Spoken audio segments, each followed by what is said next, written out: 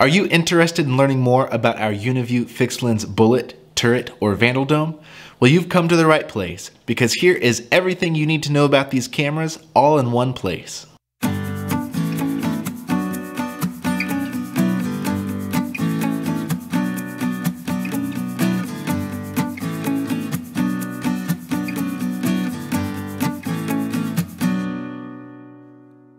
Hey guys, it's Tyler from Nelly Security, and today we are taking a deep dive into our Uniview fixed lens cameras. Now, Uniview is our newest product line here at Nelly Security, and there is a lot to love. There are some incredible cameras with crazy features that really brings a lot of innovation to the table. But if you're just looking for a simple, standard fixed lens camera, Uniview has you covered there too. In fact, this line just might become your new go-to brand when you're looking for a new fixed lens security camera. So today we are going to take an in-depth look at these cameras. We'll tell you everything you need to know in order to make an informed decision about whether or not these products are for you. We'll start with a quick overview of these cameras, followed by a full unboxing. We'll install all three cameras on our back parking lot, set them up on our network, and take a tour of the interface. Finally, we'll add these to a Uniview NVR and set up and search for some intelligent events. So as you can see, we have a lot to cover today, so let's go ahead and jump right into this review.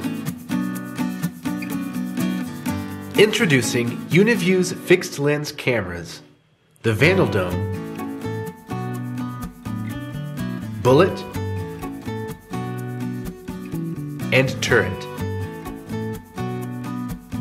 All three cameras come in full HD 1080p and 4 megapixels, while the bullet and turret cameras also come in 4K Ultra HD. These cameras are durable and powerful enough to suit large enterprise and corporate applications, but their aesthetics, ease of installation, and competitive pricing make them ideal for any small business or residential installation. Enjoy beautiful imagery with these cameras 24 7, 365. With its IP67 weatherproof rating, its 98 foot infrared distance, and its true WDR, these cameras are ready to give you incredible performance no matter what comes your way. Alright, now let's move on to our product unboxing. Here we have three of our fixed lens Uniview cameras. We have our 2 megapixel bullet, our 4 megapixel Vandal Dome, and our 8 megapixel 4K turret. Alright, I got our boxes here, so let's go ahead and take a look. Now, if you're familiar with our H series or R series cameras, there's not really going to be a whole lot of difference here in terms of what comes in the box. We do have our quick start guide. We also have a waterproof requirements document that just helps you make sure your cameras are good to go in terms of uh, waterproof. These cameras are IP67 weatherproof, but you still have to weatherproof the connections and such, which is why it does come with a weatherproof grommet. We have our mounting hardware here, and we have the mounting template, which these might look a little bit different than what you're used to. Also in the Vandal Dome box, uh, it does come with the hex wrench for removing the dome. Now, the other boxes do come with pretty much the same things inside. Here's that mounting template for the bullet. And there's the drill template for your turret. And again, both the bullets and turrets come with the quick start guide and the waterproof guide, the waterproof grommet, your mounting hardware, and that's about it. All that's left now is to look at the cameras themselves, so let's go ahead and jump right in. We will go ahead and start with the bullet camera here. As you can see, this is a beautiful camera. Uh, it's nice and compact. Um, it feels very solid. It's got a very nice uh, all metal construction. This bullet does look identical in the 2 megapixel version, which is what this is, and with the uh, 4 megapixel version, but the 4K version actually looks a little bit different. So this is what the 4K bullet looks like compared to the 2 megapixel and 4 megapixel bullet. Let's talk real quick about this fixed lens here. Since this is the 2 megapixel model, this is a 4 millimeter fixed lens. Uh, the 4K version also has a 4mm fixed lens. The 4 megapixel version, on the other hand, has a 3.6mm lens. So the 4 megapixel version is slightly more zoomed out. It has a slightly wider angle than the other two. Other than those couple of differences, these three cameras are basically the same. It's got this really nice three axis adjustment uh, and it's all controlled by this one knob. So all I have to do is loosen this knob a little bit and we can move the camera up and down. We can rotate it this way. We can turn it this way. So this is a really nice feature of this bullet camera. The axis movement is really nice and fluid. So it's super simple to adjust with no tools necessary. And that could be a pro or a con depending on how accessible your camera is. The exception to this is the 4K model, which has individual screws controlling each axis. And now we can take a look at this pigtail. Uh, it just has these two connections for your Cat5 Ethernet connection, as well as your 12 volt DC connection. Next, let's take a look at our Vandal Dome. And here's the camera. Compact, beautiful. This thing's super tough, IK10 vandal proof, so it's basically indestructible. Whether you're getting the 2 megapixel or the 4 megapixel, this Vandal Dome is going to look identical. Also, both versions of this Vandal Dome do come in a 2.8 millimeter lens. So your Vandal Dome is going to have a much wider field of view than your Bullet. So to get under the dome, we do have these two hex screws here. We do have the security screw here to hold the dome in place. And here we have the camera under the dome. Once it's installed, you can make pretty simple angle adjustments either up and down just by grabbing the lens and pulling it. You can also rotate the lens if you need to. Now let's take a look at the pigtail here. It does have an additional connections. Um, so you see your Cat5 Ethernet connection and your 12 volt DC connection, just like the bullet camera. But we do also have alarm in and out and audio in and out connections if you need to connect an alarm or a microphone to this camera. So that's a really nice feature with our Vandal Dome fixed lens cameras that you won't find on your Bullet or your Turret. So if you know you're going to be needing a microphone or an alarm with your camera, go ahead and get the Vandal Dome. And last but not least, we have the Turret. Again, just a very nice camera, uh, well built, solid construction. The camera itself is all metal. However, this cover over the top is plastic. This camera looks the same whether you're getting 2 megapixel, 4 megapixel, or 8 megapixel. Like the Vandal Dome, this turret's fixed lens is 2.8 millimeters across the board, so that's full HD 1080p, 4 megapixel, or 4K Ultra HD. It's all going to be that nice wide 2.8 millimeter lens. So to open this and take the cover off, you just need to turn it counterclockwise. There we go. And it just slides right over the camera like this. Underneath here, you can see the three screws, which is how you install your turret camera. We also have a tension screw on the side here. So we can just go ahead and loosen up this tension screw a bit. It frees that camera up and we can easily move it and angle the turret however we need to. And again, just like the Bullet, this turret only has a an Ethernet connection and your 12 volt DC connection. All right, we're here at our back parking lot at Nelly Security and I'm ready to install these cameras. Installation is super easy. The first thing I'm gonna do is take these mounting templates and I'm going to place them on the ceiling where I'm going to be installing each of these cameras. Next, I'll go ahead and drill my holes into the ceiling and now we're ready for installation. Alright, first I'm going to install this bullet camera. And again, these are very easy cameras to install. We can either run the cables up through the ceiling like this, or we can run the cables out the side of the camera like this. So for this, I'm going to go ahead and install it like this, running out the side of the camera. First thing I'm going to do is loosen up this knob, which gives us access to these three axes uh, for angle adjustments on this camera. And that just makes it a lot easier to install because we can move it around and we can get our screwdriver in there right where we need it. Now, once we have it screwed into the ceiling, we can go ahead and adjust that angle however we need to, and then tighten this knob back up. And now we're good to go. Alright, now next up we have our Vandal Dome, and in order to install this, we just need to take off this glass vandal-proof cover using the included hex wrench, now once this cover is removed, all we need is two screws to secure this camera in place. We will go ahead and angle that lens and reattach this dome. And finally we have our turret camera here. Uh, in order to screw this into the ceiling, we just need to remove this plastic cover. We will do so by turning this counterclockwise, and then it just slides right off the camera like so. Once we have this camera installed in the ceiling, we will loosen this tension screw just a bit. That will give us the ability to angle this lens however we need to. Once we have it angled, we'll tighten that back up and replace the cover.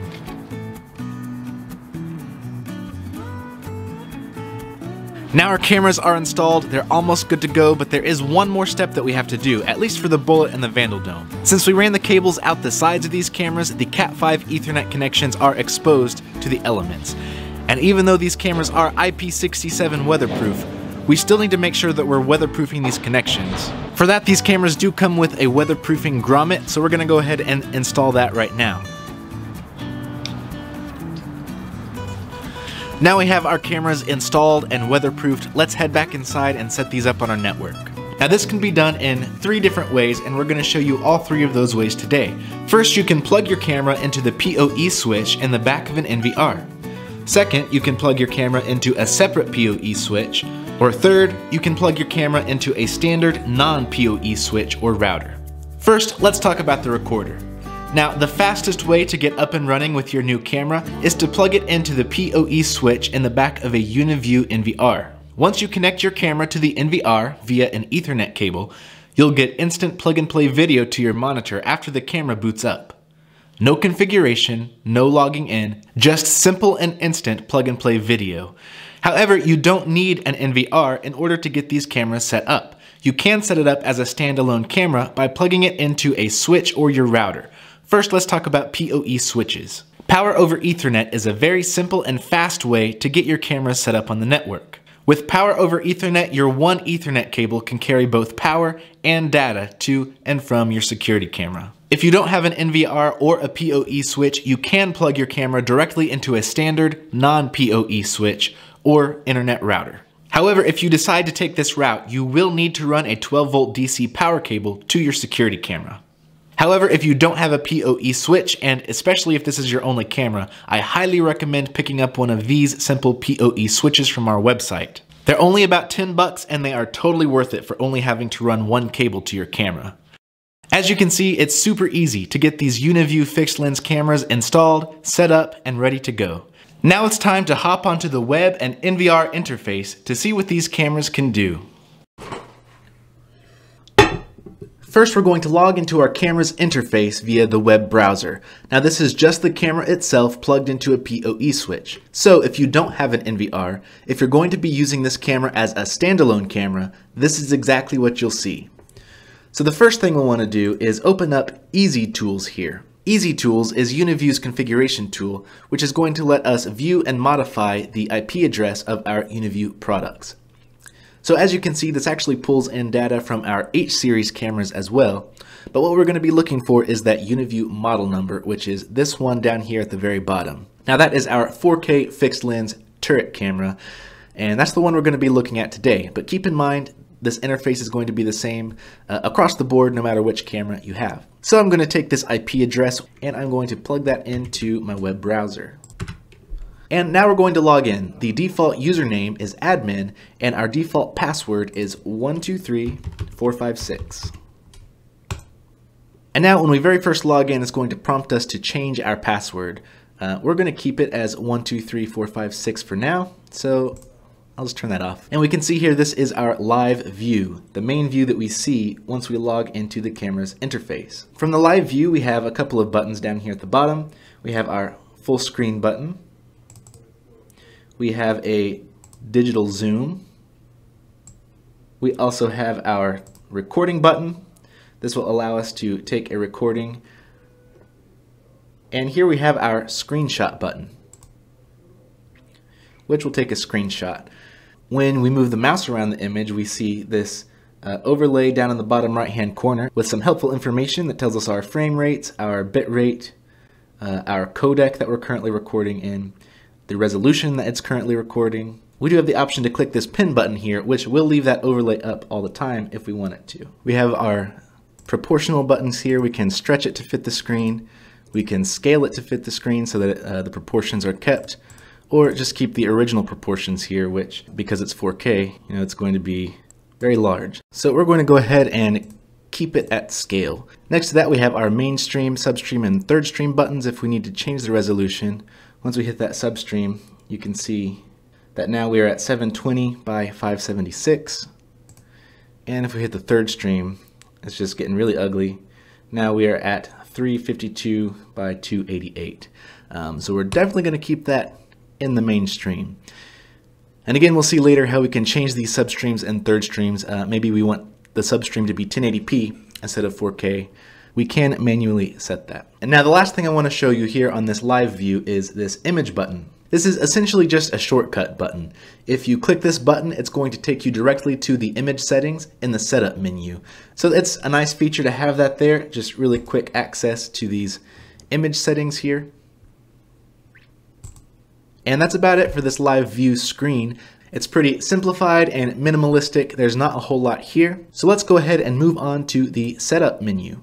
One unique feature about these cameras is that they are very customizable. So if you're kind of a tinkerer, if you like to play around with your camera settings, there is a lot for you to dive into here, but most of it is beyond the scope of this video. So just know that there is a lot for you to explore apart from what you see in the next few minutes. So let's check out this menu system.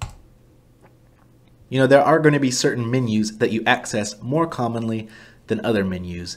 And here, Uniview has put all of those most common settings in this common section. So if there's something that you want to accomplish pretty quickly, and it's something that you use often, it's most likely going to be here in this common menu or over here in common configuration. We have our basic info, and then we have our local parameters, which is going to be the machine that you are currently using to access the interface. We have our intelligent mark, which we can set to disabled or enabled. I'm going to leave that enabled because that's going to allow us to see our smart event markers later on when we set up some smart events such as line crossing, intrusion, etc. Down here we also have our recording and snapshot settings, and this is where we can set the file location to save our recordings and our images. Next we have our network settings, which we can make this DHCP or static. I'm going to go ahead and make this a static IP address, leave it at 45 so we don't get kicked off. So next up we have our time settings, and you can see that the current time on this camera is 4.26 p.m., uh, but the time of this recording is 11.26 p.m. So I could set this as central time, which is where we are currently, or I can just make this easy and click sync with computer time. We do have our server settings here, and our on-screen display settings. This is a pretty unique OSD because we can pretty much customize everything about it. We can move them around on the screen. We can decide what we want displayed on the screen. We can even add in a, uh, a custom field if we want to say something like, I don't know, Nelly's security. We can move area 2 down here. Let's say we want the camera's name. We can say back parking lot. We'll move that down here to this corner. We can also add a scroll. So if we want to say something like, this is a video demonstrating the features on the Uniview fixed lens cameras. Kind of down here, maybe underneath areas two and one. We can also have just the date, just the time. We can upload a picture to display over a part of the screen, and we can also have people counting show up on the OSD, which we will get more into that later when we look at the smart events available on these cameras. So now if I go back to the live view, we can easily see all those changes that I just made. If you want to get really customizable, you can change the font size and the font color, and you can change how the text looks. You can make it have a background, you can make it stroked, However you want that to look, you have complete control over this OSD. The next menu here is user management where you can add and manage your users. Pretty straightforward. Let's jump into the network section. This is all stuff that you can explore on your own as we're not going to get too in-depth in this video. Um, I will point out EZCloud. This is where you will get mobile access on your phone using the Uniview application EZView. Now this app is available for both Android and iPhone, be sure to toggle the EZCloud setting to on. Once you do that, take out your mobile phone, click Add, Scan, and scan the QR code. Simply add a descriptive name for your camera, this can be anything you want it to be, and then click Start Live View.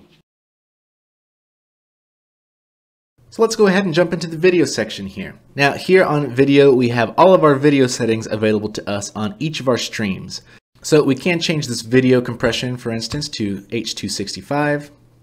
We can change our frame rate if we need to, bitrate, image quality. all these different video settings. We can also do this for the sub and the third streams. So for instance, we may only need a main stream and a sub stream. We can just turn off that third stream altogether. Now for our sub stream, I don't want this to be D1. I want this to be 1080p. So we can set that. We'll keep the, the video compression for the sub stream at 264.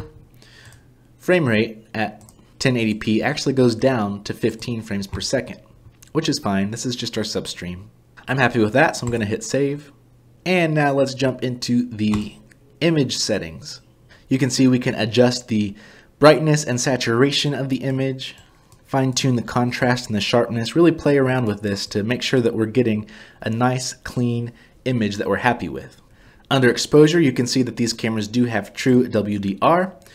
We can turn that on and mess around with the level. So if you do have some areas of your image that vary in brightness from very dark to very bright, you might want to turn on this WDR setting and play around with it a bit. We do have a privacy mask. If there's an area on the image that we don't necessarily want to be visible all the time, uh, we can just mask over it here.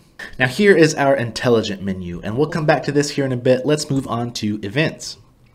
And this is going to be our not smart events, uh, essentially motion detection, which we can draw an area here either the whole screen or a portion of the screen.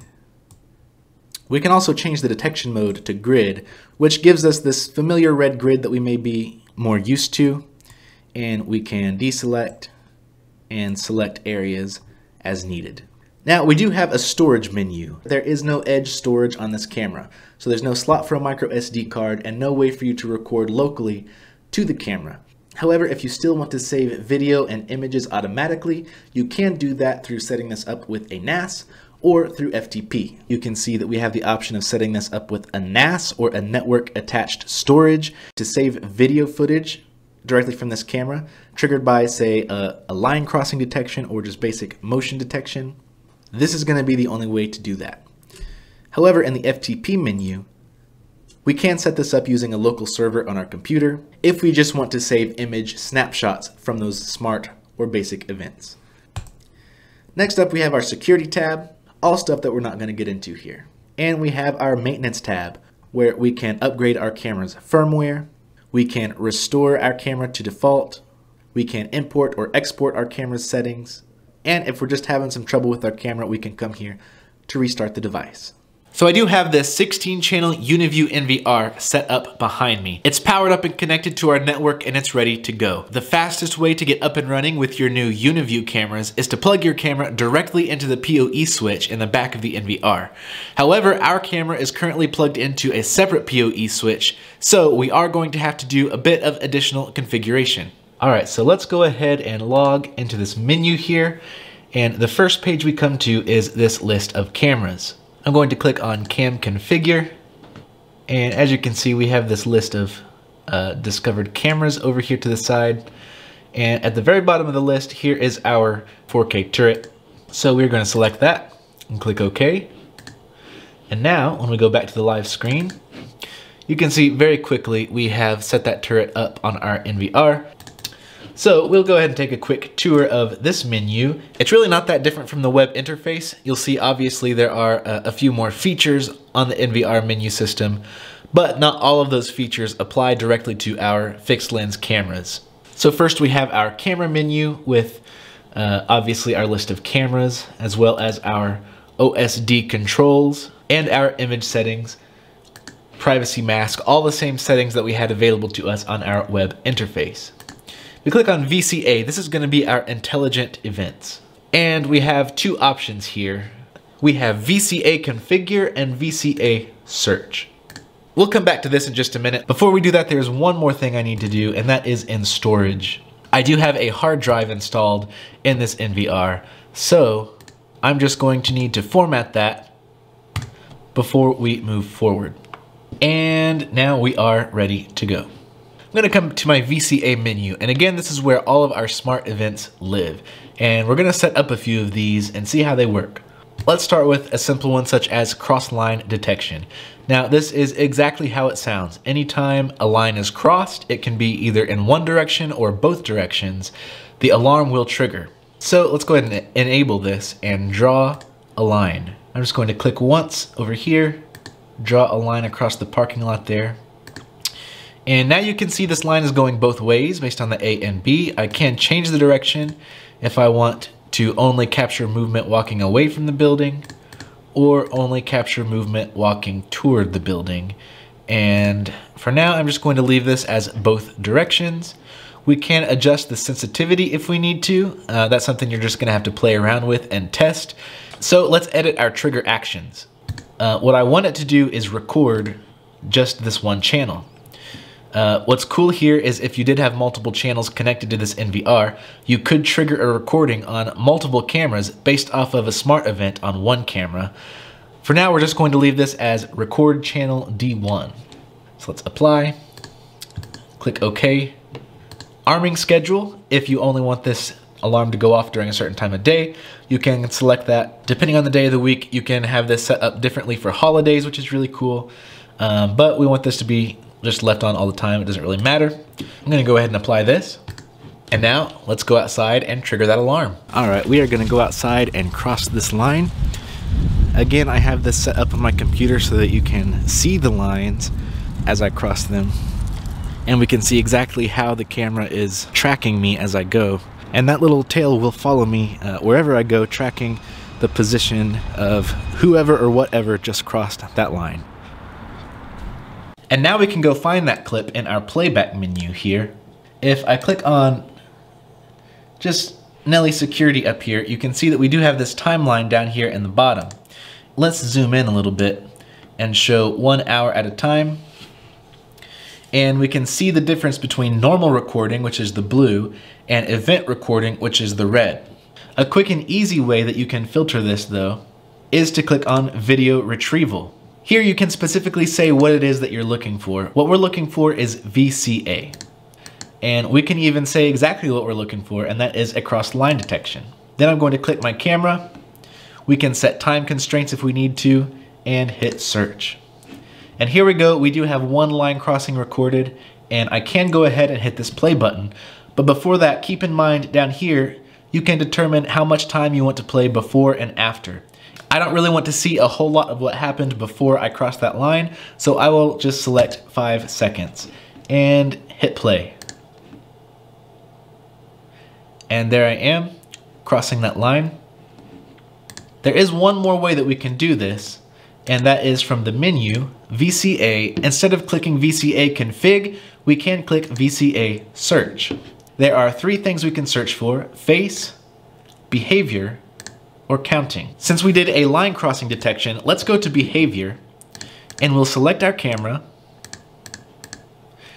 set a start time and an end time if we need to, and we'll set the type to cross line detection and click search. And it says here we have a cross line detection where my whole body crossed that line and here it actually picked that up twice because it thought my shadow was something else. So that's one instance when I may need to play with the sensitivity a little bit, just so that it's not picking up every time a shadow crosses that line. All right, let's go back and set up another smart event. But now I want to focus on face detection and people counting. These are two really cool features that I wanna show you how this works. So I'm going to enable people counting and hit apply. Now what this is going to do is disable the line crossing that I set up from earlier, because when you have people counting enabled, that's the only smart event that you can have enabled at a time. So we'll click OK. We can enable shoulder de demarcation. Uh, what this would do is if you're going to have multiple people crossing the line at the same time, it's going to be able to differentiate people based on uh, their shoulders. So what I can do is move this shoulder demarcation uh, to roughly the size of human shoulders. And in this scenario, it'd probably be about that size. We can change the direction of this arrow from A to B or B to A. And what this is gonna do is just let the program know which direction is entry and which direction is exit. Uh, the people counting feature will keep track of both entry and exit. It just needs to know which way is which. I'm going to hit apply. Something else cool that you can do is in your OSD settings, under Camera and OSD, we can add a Count People section. And I'm gonna move this over here and hit apply. Now if we go back to our live view, we can see how many people have entered and exited uh, based on the people counting number. So I'm gonna go out there and walk across the line a couple of times. I have a feeling that we are going to need to mess with the sensitivity quite a bit to get this dialed in. But let's go check it out and see what we can do. As you can see, as I cross this line heading this way, the exit number just went up one. And as I turn around and come back towards the building, we're going to get one more number added to the entry number. All right, I'm back here at the NVR. Looking at this, it looks like we are going to have to adjust the sensitivity just a bit, uh, simply because it counted two exits instead of one and then one entry. What I'm assuming happened is my shadow crossed that line and it thought there were two of us. What I can do is bring down this sensitivity a bit to maybe 40 or 35 uh, another thing I could do, again, is enable this shoulder demarcation, and we'll see how that works. You can set up people counting from the web interface using the camera alone. All that you'll be able to do is display the people counting statistics on the OSD. From the NVR, there's a lot more that you can do with those statistics, and I'm gonna show you that now. Under VCA search, we're going to click on counting. We're going to select a camera, and we can find out how many people have entered, how many people have left, and the total. And what we can do is get a daily report, a weekly report, a monthly report, or even a yearly report of how many people have entered and exited our location. We can count and we can see a total of two people have entered our location. It says two, that's because I tested this out a little bit before I went out and did it myself and then I reset the count on the OSD. However, resetting the count on the OSD does not reset the total number of people entered in this statistics database. So it's telling me that two people have entered. I can change this to weekly, and it's still gonna tell me on Tuesday, two people entered. I can change this to monthly, or I can even do this yearly, and it's gonna tell me two people entered in March. I can do this how many people left, and it's going to tell me three people left. Uh, again, one time it counted my shadow, so take that with a grain of salt. Uh, and I can do total, which is going to tell me uh, both people entered, which is yellow, and people left, which is green. There are lots of companies right now using Uniview for this very purpose because this is such a uh, an, an innovative way to keep track of who's coming in and exiting your business. Whether you're a security professional looking for a new product to offer your clients, a security enthusiast always in the market for new video surveillance equipment, or a complete beginner to the world of CCTV, Uniview has something for you. If you want to learn more about our Uniview fixed lens bullet, turret, or vandal dome, click the links below to check out our blog post. Not only do we have a full review of these products, but we also have additional videos and links to each of the products. If you are a security dealer or installer wondering what Uniview can do for you and your business, we have another blog post geared specifically for you, so I will link that down in the description as well. I hope this video was helpful for you. If it was, be sure to give it a thumbs up, subscribe to our YouTube channel, and follow us across all social media for more security content just like this. If you want to see more videos about this fixed lens camera, click this playlist right here. Or if you want to see what we're working on now, click here to see our most recent video. Thanks so much for watching and we will see you next time. Uniview. Better security, better world.